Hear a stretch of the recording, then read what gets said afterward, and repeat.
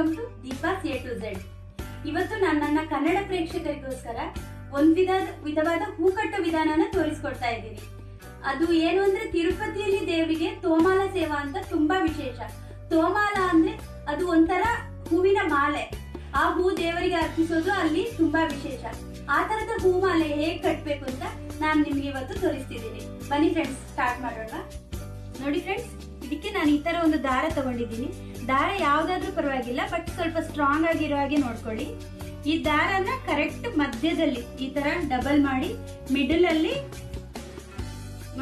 ಎರಡು ಹೂ ತಗೊಂಡು, ಮಾಮೂಲು ನಾವು ನಾಟ್ ಹಾಕೋತೀವಲ್ಲ, ಮಾಮೂಲು ಹೂವಿನ ಹಾರ ಹೇಗೆ ಕಟ್ತೀವೋ ಆ ತರ ಮಧ್ಯದಲ್ಲಿ ಒಂದು ನಾಟ್ ಹಾಕಿ ಕಟ್ಕೊಳ್ಳಿ.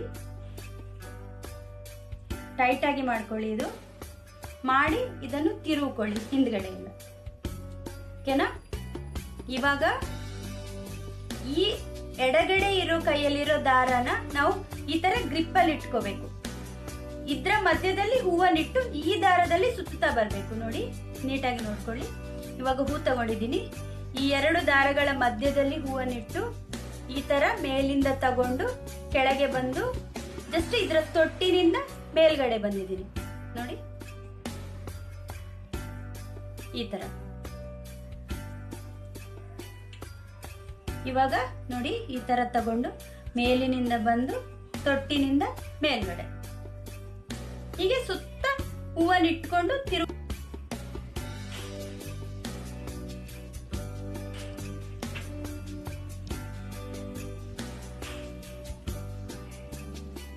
ನೋಡಿ ಫ್ರೆಂಡ್ಸ್ ಈ ತರ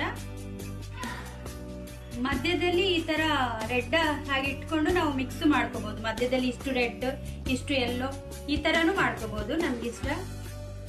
ಈ ಹಾರ ದೇವರಿಗೊಂದೇ ಅಲ್ಲ, ಮದುವೆಗೂ ಮದುಮಕ್ಕಳಿಗೂ ಯೂಸ್ ಮಾಡ್ಕೋಬಹುದು ನೀವು ಕಲ್ತ್ಕೊಳ್ಳಿ.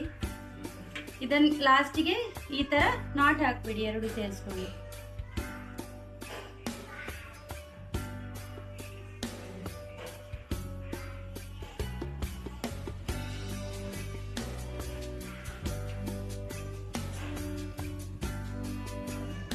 ಈ ಥರ ಬಿಗಿಯಾಗಿ ಎರಡು ನಾಟ್ ಹಾಕೊಂಡು ಎಕ್ಸ್ಟ್ರಾ ಥ್ರೆಡ್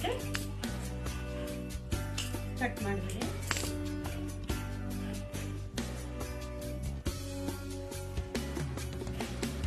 ನೋಡಿ. ತೋಮಾಲೆ ರೆಡಿ ನನ್ನ ಚಾನಲ್ ನಿಮಗೆ ಇಷ್ಟವಾದರೆ ಸಬ್ಸ್ಕ್ರೈಬ್ ಮಾಡಿ ಲೈಕ್ ಮಾಡಿ ಶೇರ್ ಮಾಡಿ. Thank you